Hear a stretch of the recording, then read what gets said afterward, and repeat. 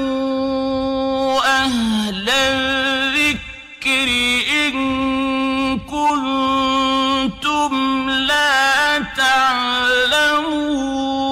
تعلمون ওয়ালাইকুম আসসালাম রহমতুল্লাহ বারাকাতুহ সম্মানিত দিনী বোন জানতেছিলেন যে কিয়ামতের পূর্বে কোরআন সুন্নার উপর অটল থেকে আমল করলে কতজন শহীদের আহ, সমান স্বভাব পাওয়া যাবে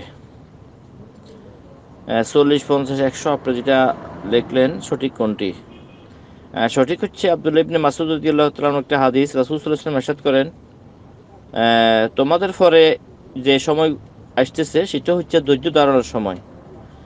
আর ওই সময়ে ধৈর্য ধারণ করা এমন কষ্ট হবে, যেমন কেউ জ্বলন্ত আঙ্গার নিজের জ্বলন্ত কয়লা নিজের হাতের মুঠির মধ্যে রাখে।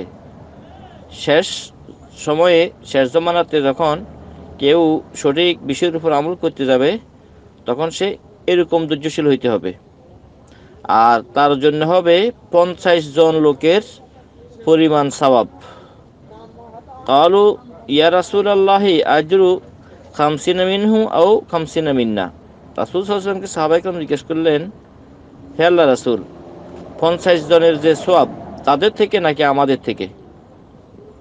কলা খামসিন মিনকুম তখন রাসুল সাল্লাম বললেন, পঞ্চাশ জন হবে তোমাদের থেকে।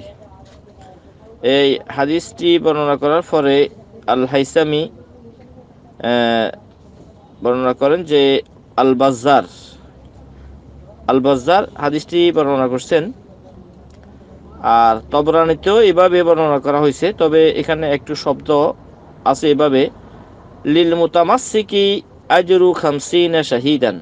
শেষ জমানাতে যারা কষ্ট হওয়ার পরেও ধৈর্য ধারণ করে অটল থাকবে দিনের উপরে, তাদের জন্য পঞ্চাশ জন শহীদের সোয়াব পাবে পাওয়া যাবে। তারা পঞ্চাশ জন শহী- শহীদের সব পাবে। ফকালা ওমার ইয়া রাসুল আল্লাহ মিন্না ও মিনহুম।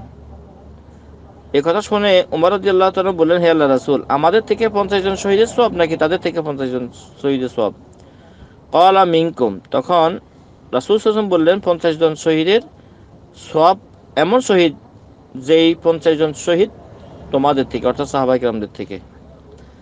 এই হাদিসটি সহি।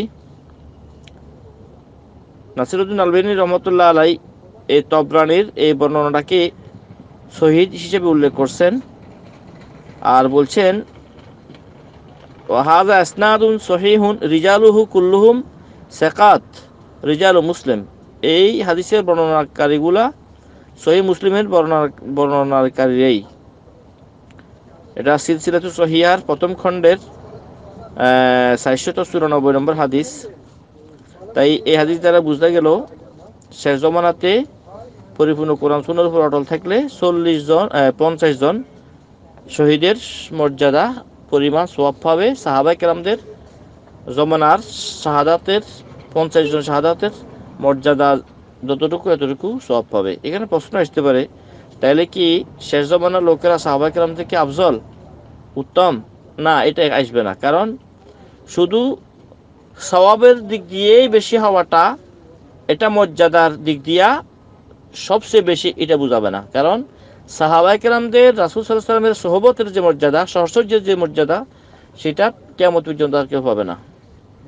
এভাবে আমরা যতগুলো ভালো কাজ করব, ভালো কাজের এক একটা অংশ সাহাবাই কেরামদের আমল আমার মধ্যে উঠে যাবে। কারণ এদের মাধ্যমে তো আমরা দিন পাইছি তা আমরা জানি, হাদিসের মধ্যে আছে যে একটা ভালো কাজ করে সেই ভালো কাজ করে বলার মতো সব পায় তাই সাহাবাই কেরামে দেখা দেখি আমরা কাজ করতেছি। আমরা যত পরিমাণ সব পাবো, আমরা যদি সব পঞ্চাশ জন সাদাতের মর্যাদার মতো সব পাই, তাহলে আমাদের এই সবটাও তারা পাইতেছে। তাই কোশ্চিনকালেও এ কথা বাবা ঠিক হবে না যে শেষ জমানের লোকেরা সাহাবাই কেরামদের থেকে উত্তম। আশা করি বিষয়টা বুঝতে পারছেন। বাকি আল্লাহ আলম। সালামু আলাইকুম রহমতুল্লাহ বারকাত